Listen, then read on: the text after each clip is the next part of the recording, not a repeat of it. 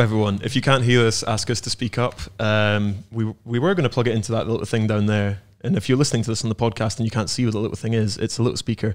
Um, but yeah, so thank you for coming along. Um, can we have a quick show of hands of who's listened to PodCrash before? Okay, so you know what you're in for. For everyone that for, for everyone that hasn't, um, just take a little minute to go over what we do. So Phil and I, were, well, actually all three of us were at the Rio Olympic Games. Um, I won a gold and silver medal. Doull won a gold, just about. uh, and Phil won a gold as well, doing doing the thing he does, which is the best man one in the world. And basically, we chat to different athletes from different sports. So we've had um, mainly cyclists, but we've had big wave surfers on, CrossFit. Who else? Uh, canoeing. Yeah, Um, yeah, many sports. Weight, weightlifting. weightlifting. Weightlifting. Yeah. I'm not even on the podcast, but I know Yeah. more than you two. we haven't, we haven't introduced. Well, I haven't introduced you. It's fine. You can speak. Um, uh, yeah. So basically, we think that if it's athletes talking to athletes, we, we bring something different to the table. Um, and the the cycling podcast, who's up after this, I recommend that you go and see them. Um, but we're not in competition with them. That's very much an analytical breakdown, breakdown kind of piece about you know what's happened in the day's events. We're not really like that, for better or worse. Um, so first off, I have to do a quick bit of commercial stuff. Try not to laugh because I get really embarrassed every time I say it. So um, we're here for the whole week um, as a podcast pop-up. We're based just down by the Prince of Wales roundabout, um, the bridge where you go into the fan zone. If you pop down there, you can get a free coffee. Um, so thanks to our partners, La Marzocco, North Star Roast, and also Temper, a mattress like no other. And if you put in cycling 100 to temper.co.uk, you can get £100 off a new Temper mattress. Wow. It's amazing. Um, so yeah, let's kick off the podcast. Uh, so Doull's actually probably our most frequent guest, so we went for the the safer option of getting him on this one, basically. Um, so what do you think of the podcast so far, Dole? Yeah, I enjoy it. Um, as you were kind of explaining earlier, it's nothing like the cycling podcast. I think the cycling podcast actually have knowledge of cycling to start with, um, and this is kind of a bit more off the hook, I guess. And kind of just more of a conversation between friends. Um, and you know that net doesn't necessarily mean the podcast stays within the realms of cycling. You can end up talking about anything, so it's kind of more of a conversation. And the, Yeah. the quick one, which I forgot to mention in the introduction, is that you might notice that Chris Lawless isn't here. Um, unfortunately, he couldn't make it this evening, um, and we wish him all the best in the future. Yeah. Um, but uh, Chris Lawless was one of your favourite episodes, wasn't it, Doull? what was it the agent said? Um, that boy should not be allowed to speak in public. oh, harsh. you have yeah that's the thing with with all good podcasts you have some good episodes and some bad episodes uh, So where does where does Lawless fit in that category? i don't know phil's the one who does all the numbers He's actually had decent views, you know. Oh, yeah? Or listeners, yeah. Well, yeah, there you go He's then. done all right. There you go. Mid-table we've created some controversies over the past as well. So is everyone familiar with uh, Dan Bigham the other day in the mixed team time trial? So uh, he has some very differing views to a podcast that we did with you, Adam Blythe, and Chris Lawless about the use of Aerosox in the peloton. So I thought I'd just give you an opportunity now to clear that up. no I not- think the quote was Dan Bigham said, "You're uh, you are an idiot if you don't wear Aerosox in the peloton." Well I wear aerosox yeah Oh, right, okay. Yeah. oh, so you've changed your tune though. no i've always worn aerosox Oh, It's like, just- I okay. think he was on the it's, live it's, there. it's a deeper issue with all Yeah. the, the british stuff but we'll keep it light tonight Yeah, well, um, Adam Blythe actually, good shout out to him, has got his own range of socks, which are not Aero socks, but they do say Aero socks on the side of them because he's very much against um, the introduction of any kind of Aero wizardry in the peloton, basically. Um, so, have you been keeping up with the world champs so far? Yeah, I have. I've watched uh, pretty much every day so far. Um, it's been wet, um, and the kind of the big thing I've taken from it is there seems to be a lot of mechanicals, a lot of punctures on the course. So whether that plays a factor for Sunday, we'll find out. a lot of puddles as well. So a Yeah. Danish guy hitting a puddle today, didn't we? Yeah, there was a there's a clip on uh, online. I put it on my Instagram actually, and uh, you got to love the guy's commitment. He there's literally must be I don't know a couple of feet of standing water, and he goes into it at 60, 70 k an hour on on his time to bike in the skis. Uh, it didn't end well for him. Has, has, everyone, has everyone seen that video, though? The middle of the road isn't actually that bad. I don't know why he, he just thought, I'm going to take it straight through the race in line, mate. Race in line. Yeah, I think at one yeah. stage he's actually underwater. the first time someone ever drowns in a cycling race. Um, but do you think, on a serious note, do you think it was a little bit too dangerous to be loading out today? Um, no, I think it was okay. I think you just have to be sensible and be aware of your surroundings. You know, a prime example is like this Danish guy just riding around the puddle. You know?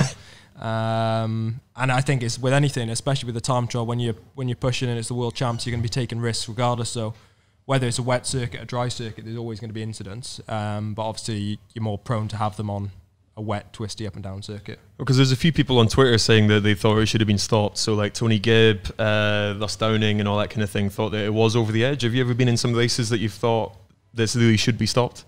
Yeah, yeah, a fair few, but it never happens. The show always goes on. Um, probably the one which sticks up most is Strade Bianche last year.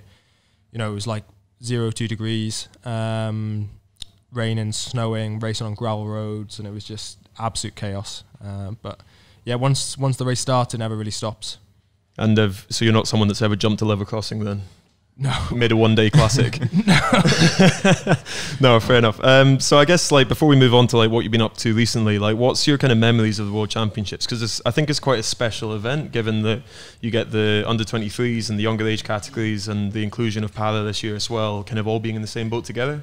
Oh, for sure. I think that's one of the beauties of the of the worlds um, is that they incorporate all the categories. I remember my first ever World Championships was in Copenhagen in 2011, so the year Cav won, and it was the first year where they included the junior categories into the whole event. Um, so that was pretty special. I still have memories of uh, doing the time trial and traveling to the start on the Team Sky bus because most of the time the national federations will lend, or the sorry, the pro teams will lend the national federations their buses um, because obviously not every national federation or barely any have a big bus. So always with GB, uh, it's Ineos and it used to be Sky would always lend the bus, um, and then they allow the whole all the, the, different squads and riders to use it. So as a as an 18 year old getting to travel to the start of the Junior World Champs on the Sky bus, sitting in maybe Brad seat or Cav seat, you know. Um, it's pretty sp- special, and that was kind of yeah the overriding memory of just sitting on that bus and thinking, "Wow, this is what I'd like to be doing in the future. And I mm. never envisaged then eight years later that I'd be here riding the Elite World, obviously riding for Ineos for a few years and Sky before that and kind of take that bus for granted now. So about it's so like an everyday occurrence. It's like because the Ineos bus is here right now, isn't it? Yeah, yeah. So the the Ineos bus is down here with with Chris Slark, our bus driver, Slarky. Does he uh, drive uh, the bus anywhere? Yeah, yeah, yeah. yeah. So he, he drove. Has he, he ever driven it into a banner? No, he hasn't done a GreenEdge. Oh, right, okay, good. Um, no, we gave him a lot of her. We Will I swear on this podcast? What when your coach broke his leg stepping out the bus? When oh. yeah. yeah. So um, basically, uh, an interesting an interesting kind of anecdote is that despite me and Phil being splinters, is that uh, our physiologist for the Rio Olympic Games now coaches Owain Doull. So that's a massive transition for for the coach. But the funnier story behind that is that in his first week working for Team Ineos. He was trying to take it super seriously. he stepped out the bus, went into a puddle, twisted his knee or ankle or something like ankle, that. Ankle, I think, yeah. And out of it for about a month or two after that. so not not as good a driver as anyone thinks, maybe. Had to move it after that, I think. Um, but so when you were in the hotel and stuff like that, did you get to like chat to your idols and stuff like that, or was it kept quite separate? Um, it is separate to a degree because at the end of the day, you know, especially in uh, in Copenhagen, obviously most people know obviously Cav went on to win the race and there was the whole Project Rainbow behind that, so they were pretty dialed on stuff. Um, but you know, a lot of the a lot of the pro guys are really good with the younger guys, especially the under twenty threes. Will you know say hello or chat to you a bit, you know, at dinner. And um, I think it's it's nice things like that. So when I go to the, the race hotel here, you know, if I see one of the junior riders, you know, I'll chat to him in the lift or say hello, ask how their race is going because you remember those little things as a junior, and it's good to it's just polite, I think, and it's a nice thing to do. You know, we are one team as GB. Obviously, I don't know many of the the younger guys racing, mm. but you know, give it five six years, they could be my teammates. You know, as a slightly interesting point, I actually heard all the juniors are getting shipped off before you get in that hotel. This time around. No, I go into the hotel tonight. Oh, right, so you're the exception. Yeah. Oh, yeah. right, fair enough. That's good. um, and you've extended with Team Ineos quite recently as well. Yeah. Um, so you, can you talk a little bit about why you choose to stay with the team? Because I'm sure you had other offers on the table, or maybe not. That would be embarrassing. um, um, but basically, what is it about Team Ineos, and why do you want to stay there? Um, yeah, so I've just signed another two years, so it'll take me to five years with the team. Um, and for me, it's the best setup. I think. Uh, I get a lot of freedom in the classics and opportunities to be able to race and learn there. Um, obviously, on the Grand Tour side of things, it's slightly more difficult. You know, it's taken me three years to to get into my first Grand Tour, but also on the flip side of that, if you can make it into a Grand Tour team with Ineos, you you have to work for it and fight for it in, in it. Um, so yeah, going forward, I feel it's the best place for me. I've got really great support um, from my coach. I got on with him really well. The team are really supportive, and this year's been a big step up for me. So I just want to continue that progression, and it's made logical sense.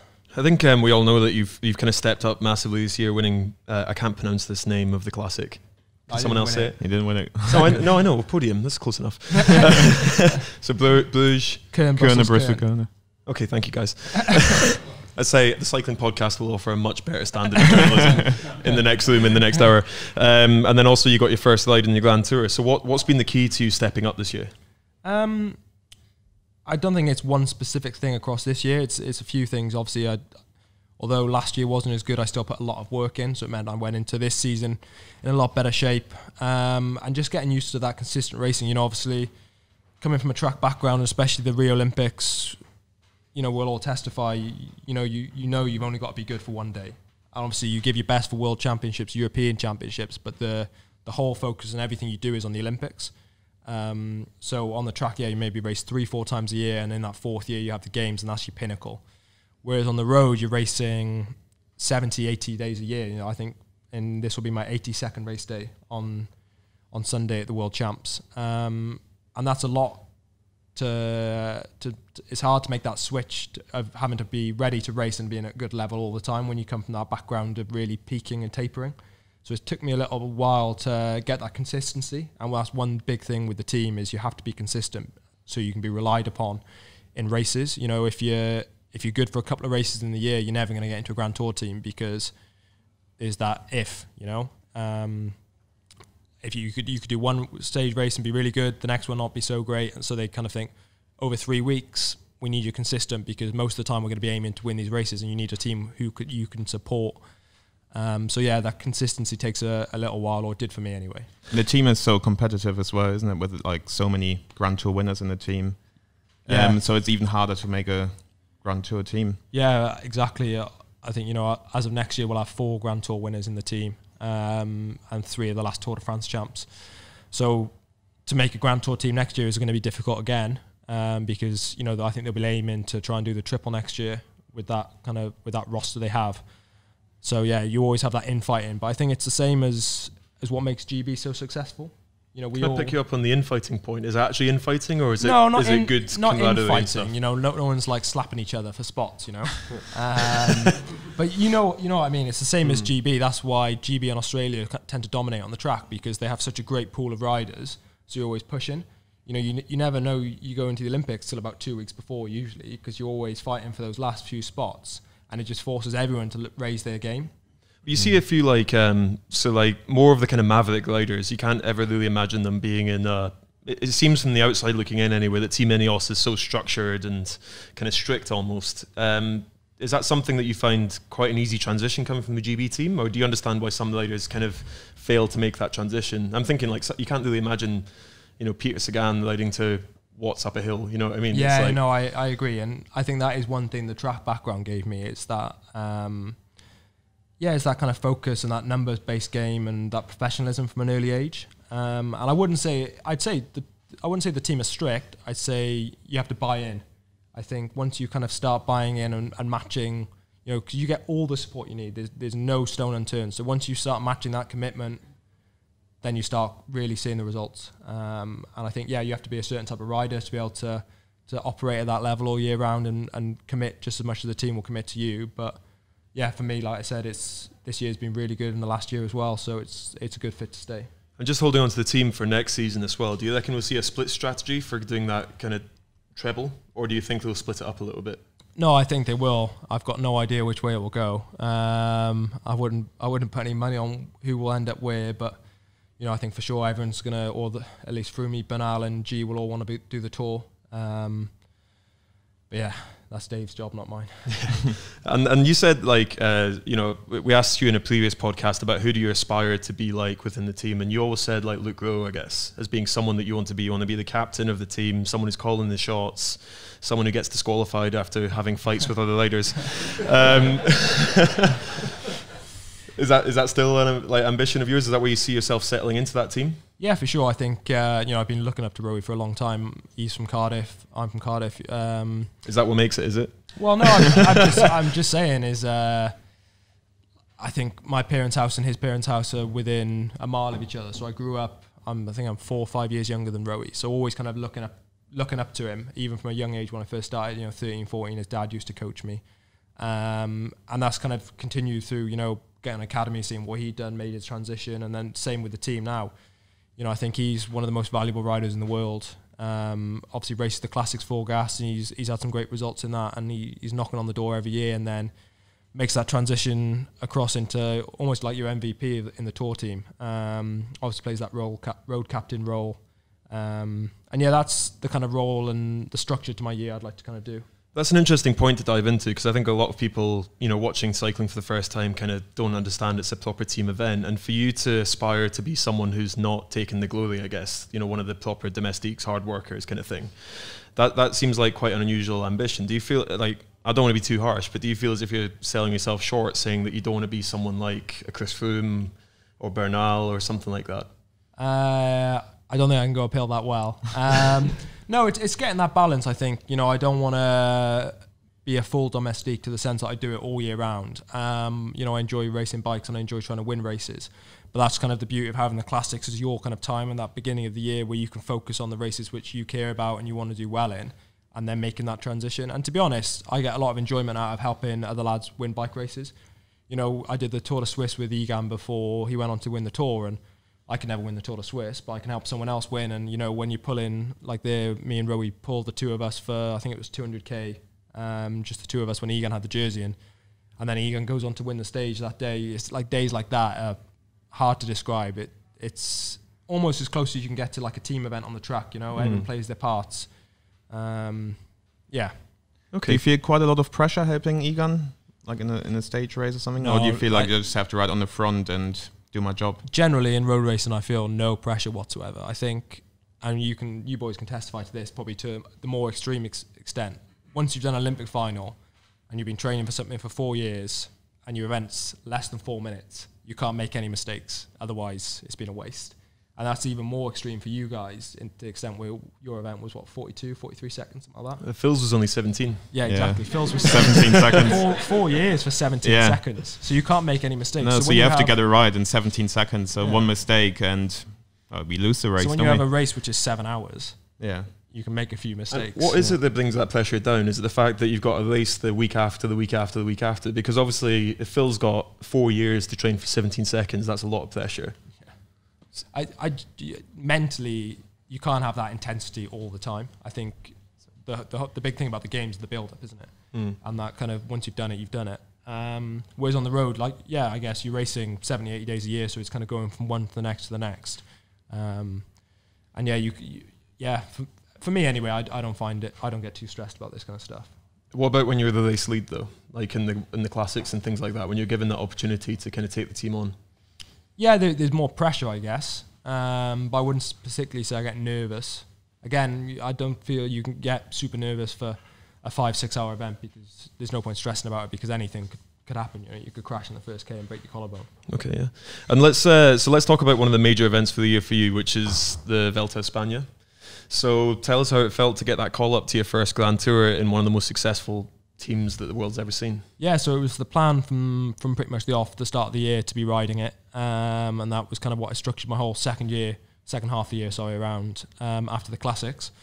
Um, so I knew for for a little while that I was probably going to be doing it, um, and yeah, I was just I was just proud to be honest. Was probably the overriding factor. Um, you know, it's not an easy thing getting into a Grand Tour team when you're not specifically a climber in this team. It's, it's good that you've we're given a bit more notice because we've been out for dinner and drinks before, and you'd be like, "Oh, I might get the call up to do the Giro, Giro d'Italia tomorrow or something like that," and then you have to pack your bags and go. Like, how do you how do you manage to deal with that last minute call up? Yeah, I, I've got better at it. I think that's one thing you have to adjust to with uh, professional cycling, especially when you're younger in the team. You know, you're just getting called left, right, and centre for races, and it comes back to that track background of being really anal about stuff and just this is your day. You know, before the games, probably similar to similar to me. We had programs, and you knew almost a year in advance what you were doing every single day, and then you were to racing on the road, and you can be going thrown left, right, and centre. I remember my first year. I went to, I started in Australia, got appendicitis there, appendix burst, flew home. Then I got thrown into a race in Abu Dhabi, all the classics, and then I was supposed to just do the cobble classics. Then all of a sudden the team said, "Oh, you've gone okay in these races. We want you to do the Ardennes classics." We did those as well.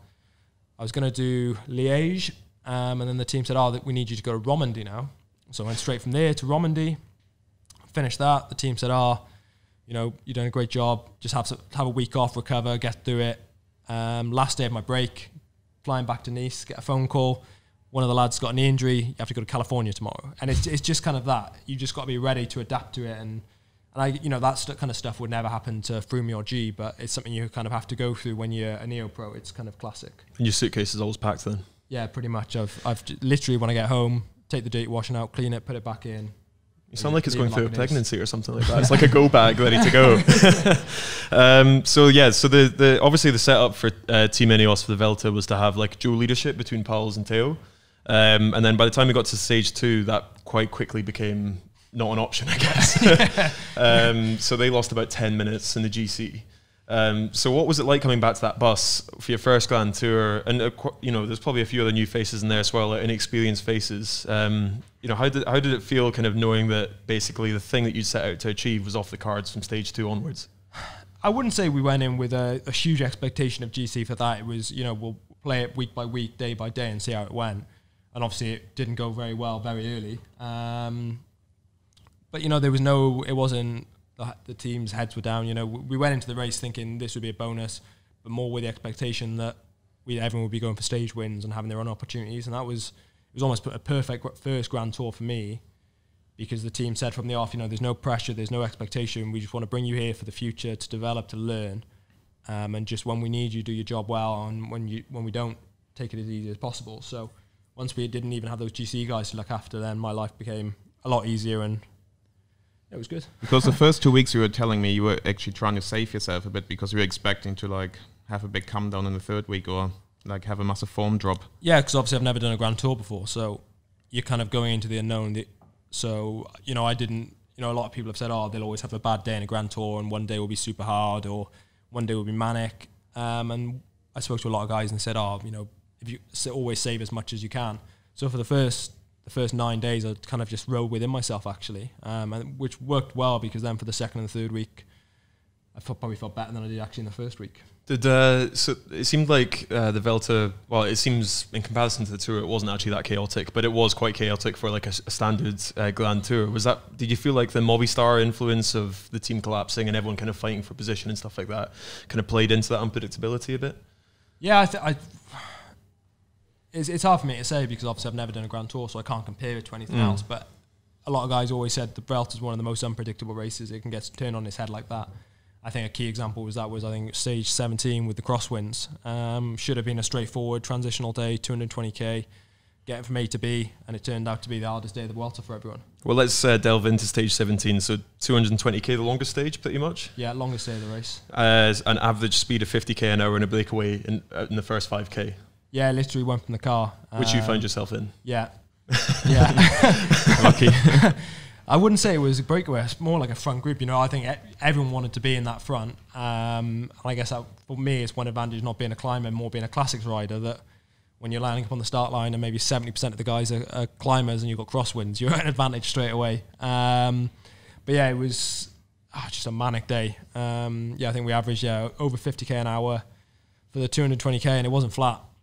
I think we had two and a half thousand meters of climbing in the stage as well. So it was we were moving all day, and it's one of those days which, whether you're in the front or the last group, everyone was working as hard as each other just to get to the finish. Because he knew it was going to be a hard day because he saw other teams rolling up, uh, warming up on the rollers and stuff like this, and Yeah, uh, everyone was a bit nervous. That's the thing with pro cycling that nowadays everyone's so professional and so on it with weather reports, um, Google Maps, everything. There's no surprises. You know, if you know there's wind from the start, every man and his dog knows that. Even like the the commentators and the spectators, people are tuning in to watch it specifically. Um, so yeah, a good grid start that they helped. And uh, I want to pull on one of the few bits of controversy from the Vuelta because I love controversy. um, so in stage 19, you gave Movistar a bit of a slagging off. Can you tell us more about that? Yeah, it was. I don't know if anyone saw it, but it was should have been again pretty straightforward day. Um, but there was crosswinds. There was a big crash uh, maybe 50, 60k from the finish, which majority of uh, a lot of jumbo went down, and then maybe two, three k after that, Movistar decided to put the hammer down. Um, and I think yeah, someone asked me after the finish, and well, yeah, in my eyes, it's not the right thing to do. I think if you've already committed to that effort and you or the crash has happened because you're fighting for position or or it's already going and then there's a crash, that's fair enough. Like the race is on, but the race wasn't on at that stage, um, and they were trying to exploit someone else's incident.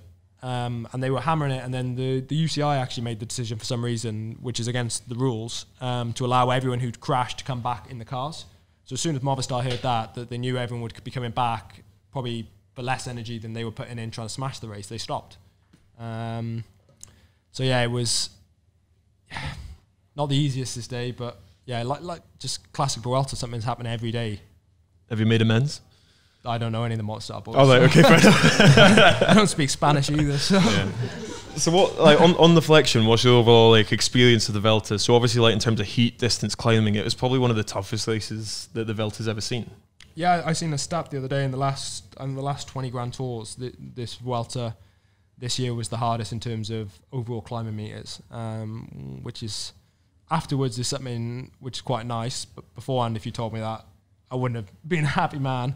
Um, but no, I, I'm happy overall. Obviously, with the Worlds this Sunday, hopefully it put me in good stead. Three weeks of, of racing around Spain. Um, but yeah, just nice to get a Grand Tour under your belt. I feel once you get that first one, it's kind of the pressure's off a little bit, and then you can kind of you know you can be good and perform in these races, so you can start planning for next year and trying to get into them again.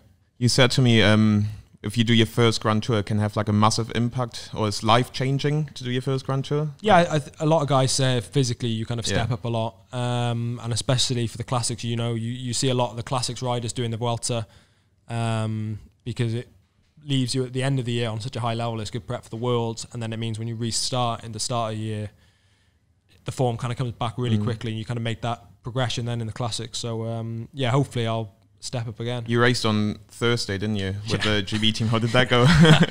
Oh, it was not nice. Um, yeah, so as as the GB team, um, everyone to be fair sat down at the start of the year and said one thing we want to try and do as a nation is race more together. So when we come together for the worlds, we're kind of more familiar. And, and to be fair, most of us already are because you know we either on academy together or we or we race on Ineos together. Um, but it was something we wanted to do. So the the national team put in place a race in Belgium. At the time, most of us didn't think we'd be doing the Vuelta, which finished on the Sunday. Um, so yeah, we raced yeah four days after the Vuelta, and it's probably the worst possible race you could do. It was it's like a glorified crit in Belgium basically, and um, the three of us who raced the Vuelta did not finish. I, I guess you had a, no, I guess you had a few uh, tap waters after you completed the Vuelta. yeah, just a couple. Okay. Good. um, good, good. Um, so I think like, uh, how how do you think you go into the next Grand Tour? Like, is there any kind of preparation you can do for that? Like, so for instance, like we we do run throughs for our event again and again in the track centre. We'll do full distance, but is there any way to possibly prepare yourself for Grand Tours? No, I don't think there is. To be honest, obviously you can't do a, th- a three-week training block, um, and the most you really train for is three to four days. Um, but I think it's just learning from what you did before, maybe tweaking your weight here and there. Um, yeah, just a few things, nothing major. Well, I think we all want to see you in a Grand Tour again, and it was pretty nice to have you in there as well. So, um, one of the things I want to talk about now is though one of your mates, Chris Lawless, isn't here. Um, we're actually seeing the reintroduction of uh, Jon Dibben back into the full Yeah. peloton, and uh, used to be called. Actually, no, there was a competition between. There was my flatmate Kian Emadi, who's now in the Team Pursuit team. We were called uh, Keenan and Cal, basically, which is a play on a TV show which is on Nickelodeon ages ago. Um, but you two were almost seen as as close. So how is it going to feel to see him lock up at the odd they see them there? Yeah, I know. I'm looking forward to it. Obviously, he was on Sky for two years, um, and then stepped down this year and rode for Madison. Um, but yeah, just great to see him getting another opportunity. You know, he's probably one of the most talented guys I've ever raced with. Um, but he just had a, a bit. He was a bit unlucky last year. You know, in his first year with Sky, he won a World Tour time trial, which you know, not many guys can do. Um, so yeah, it's great that Lotto have kind of seen that talent and decided to give him an opportunity to step back up, and I'm sure he'll make the most of it. Cool. And uh, so, touching on the event that we're here for, the World Championships, how are you feeling, and what's your predictions looking into the event on Sunday? Yeah, I'm looking forward to it.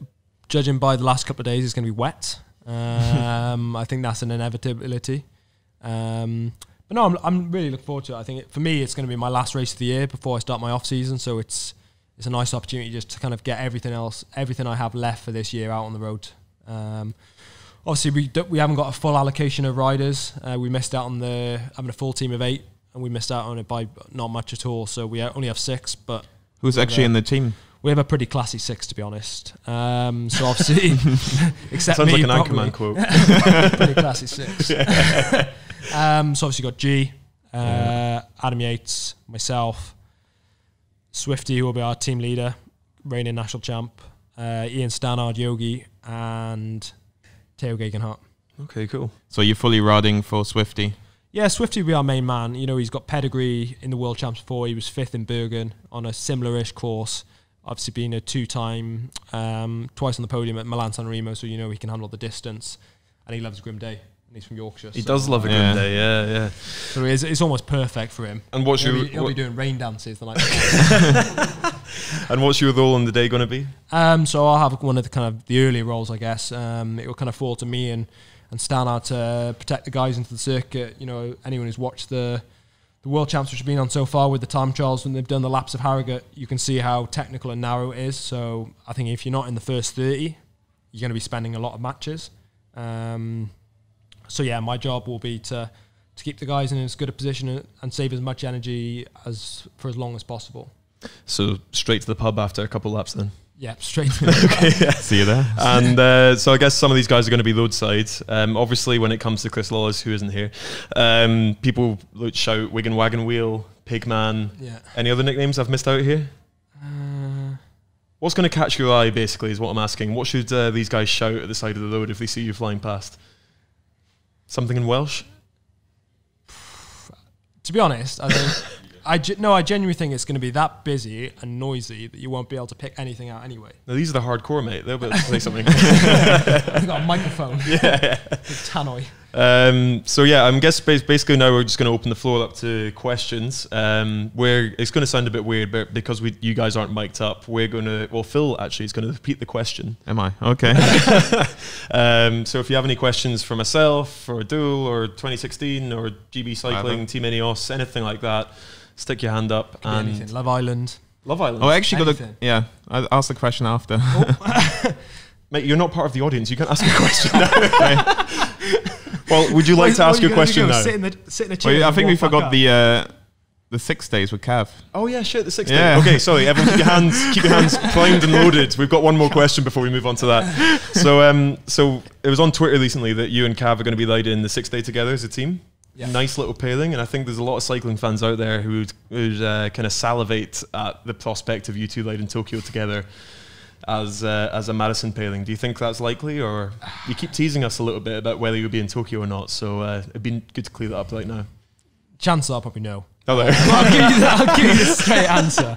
Um, yeah, I think just with how how it is, um, it's going to be really hard to make the the team for Tokyo. Just in the sense of the road commitments I have for, for the next couple of years. Obviously, I've signed um, another two years for Ineos, and obviously I'm paid to race on the road, so I have to respect that contract. And you would have to ride a World Cup as well this winter. I'd have to, yeah. Well, I- yeah. Yeah. I guess I'd have to do that. Yeah. I'd have I to- always feel like Team Ineos have a bit of a symp- uh, like a bit of a sympathetic bone to guys who want to do tracks. So you've seen like uh, with the Italian guys, they let someone uh, Viviani, like not Viviani, Ganna, yeah. Ganna, yeah, No, ride in I, I think I think they would, but for me, the big focus is the classics next year, and I really want to make that step up and and be up there in the bigger races.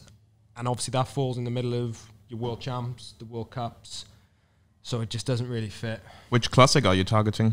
Just all of them, mate. All I'll, of them. I'll take any. I'll take Yeah. any. I'm not picky. Uh, You need to go There's through the 10, through the mate, so- cobblestones with 17 different frames or whatever. Magnus Backstedt told us. Yeah, he told us that the other day, didn't he? Um, so now we're going to open the floor up to questions. Don't be shy. Ask us anything. Has anyone got any questions? And if you don't, I'm really hoping Jess has got a question because she's the co-host of the event. Um, so yeah, has anyone got any questions particularly? Yes. Oh, thank God.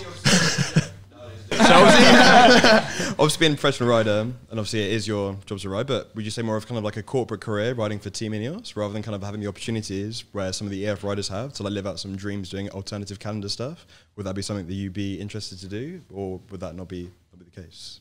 Yeah, I'd say I, w- I don't particularly see um, riding for Ineos as a, a- like a corporate career or anything like that. You know, I don't in my head I don't really have a job. I just have a hobby which I which I can I get paid for. Um, but in terms of the alternative stuff, yeah, I would love to try and do some of that kind of stuff. But obviously, even if you paid to if you paid a certain amount to race on the road and then you go and do a red hook crit and you break your collarbone, the team aren't going to be too happy. Um, but you know, it's it's like doing the six day, for example. You know, it's not exactly an alternative race, but different types of racing. Um, yeah, I would like to do something like that in the future. Well, we found the perfect stand-in for Phil the next time he's not available. Yeah. So thank you, sir. It's a long Um, question to be fair. Remember. Do you feel like riding for Team Ineos is a job? Nailed it. yeah. Thanks. Uh, any other questions from the floor? Yeah. Uh, how do you mentally prepare yourself? I mean, it's intense. Uh, it's like three weeks of Vuelta. How do you mentally prepare yourself in like a grand tour? What? Yeah. oh, no, okay, that's close enough. Um, you, I think you have to take it day by day. I think if you're one of the things you get at the start, you get um, obviously the the whole route book, which is it's almost like a Bible. It's so thick, um, and then you get route cards for every single day, and they're about this thick. And you kind of first get and you kind of can't help yourself flicking through the stages. And one of the older guys said, "Oh, don't do that. Just literally take it day by day." Um, I think if you're thinking, "Oh, three days done now, 18 days to go," I think it's a bit daunting. Whereas if you're just thinking, it's another day done, another day done, or maybe three days to the next rest day, then reset. Um, and to be honest, it was something I was kind of a bit worried about, thinking mentally how I'm going to cope with doing that because you know you can do a seven, eight day stage race and you can get to the last day and just be nailed and thinking, "God, I don't want to be here. I want to go home. Like, what am I doing here?" And, and it could be tough, but I didn't actually find it too bad in the Vuelta. I think you just get so numb and into such a routine and so tired, I guess, that it's just wake up, at breakfast, get on the bike, ride for five hours, get on the bus, massage, bed. You just kind of get into that routine. And one thing I found actually after finishing, just having this week at home, is I kind of feel a bit lost. Know what to do. What did you think um, James Knox was think, uh, thinking when he crashed and he had to do another race the day after?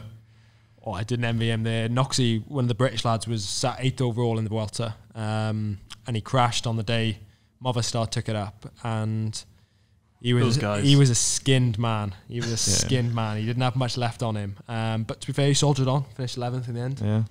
On a side note, I've actually done a red hook crit. Oh yeah, I forgot about this. Yeah, I got dropped in the f- second lap. Really? It's actually really hard, yeah. So if anyone doesn't know, it's like it's fixie crit racing. So you, you have to, uh, weirdly enough, it takes a lot of energy to like slow yourself down with your legs. I guess. But but to, so, Yeah, yeah. so to be fair, Jess, you've done it for you, haven't you? so, Yeah, so to be fair, I, remember hearing about this, and the story I heard was Rockstar very kindly. yeah, um, Rockstar Games, the publishers one of of GTA and all that and, kind of uh, thing. The, one of the, the sponsor of Red Hook Crit Yep. flew you and Kian Emadi over to New York to compete in the event. They did, yes. Under the pretext that obviously being track riders and, and Olympic champions and European medalists and all this, that you'd actually be quite good at it. but how did, obviously we know how you got on. Kian with the more endurance background, Kian more crashed like. Kian crashed like four times in the qualifying right. He crashed in the start. Honestly, I felt so embarrassed because they, they were like uh, they did this whole promotion and they're like, can you speak to the New York Times? Can you speak to like Washington Post and all this kind of stuff? I was like, yeah, yeah, yeah. And they're like, oh, how are you feeling about the? And I was like, ah, be easy, it'll be fine. and then I show up and then all of a sudden, like the boss of Rockstar Games, like one of the two brothers who founded it, is in the is in the hospitality zone at the end. And I'm just standing there with a beer and a jeans and a t-shirt, and he's like, "What the fuck are you doing here?" Like, Sorry, I've really enjoyed the hospitality though. Um, so yeah, let's uh, let's go for two more questions if we if we have two more. Que- yeah, sure. We're hearing a lot about uh, nutrition being really important. How much impact does it have on your performance, and how controlled is your diet when you're? On That was a question for Phil, I think. the For Cocoa me. Pop Master. Um, well, I How- guess. how- what did you eat f- leading up to the Olympics? For let, let me breakfast? explain first. I think for track sprinters, um, the nutrition isn't as important as for the road guys. We have just need to have a lot of protein um, and just have, have our power to weight ratio needs to be decent. Cocoa Pops. Um, well, I think for the road guys, they need to be as light as possible and Yeah, as lean as can be possible. in Cocoa Just, Pops just anyway. Yeah, like just like Phil's repeated the questions here. Can you actually repeat what Phil should have said?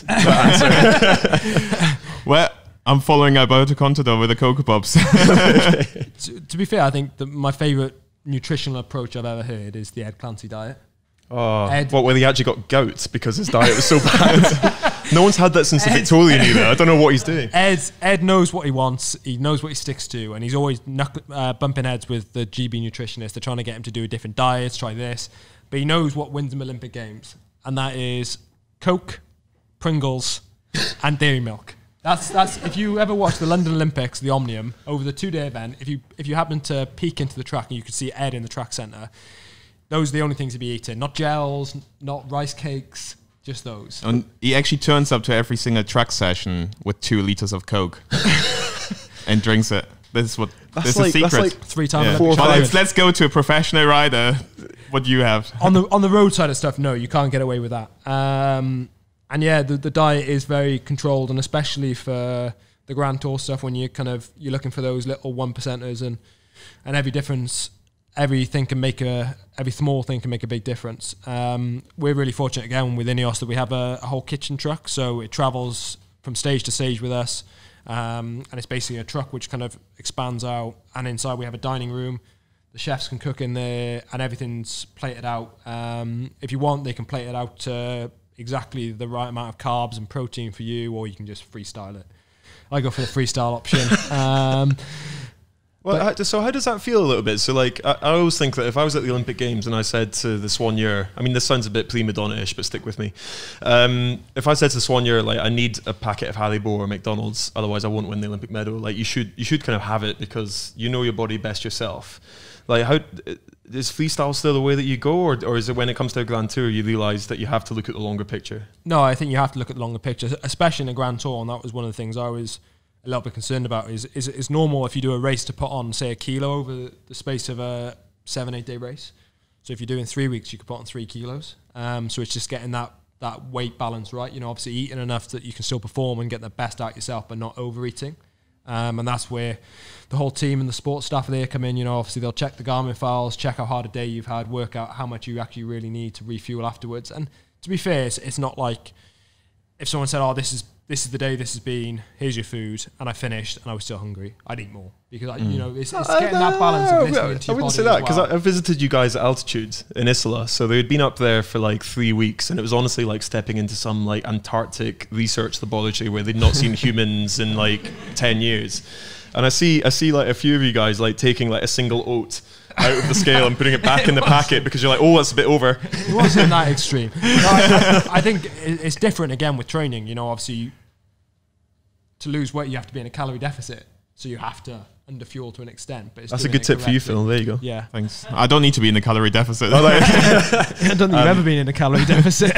Maybe. So uh, we'll go for a final question from the floor. Final, yeah, sure. Oh, we might have two actually.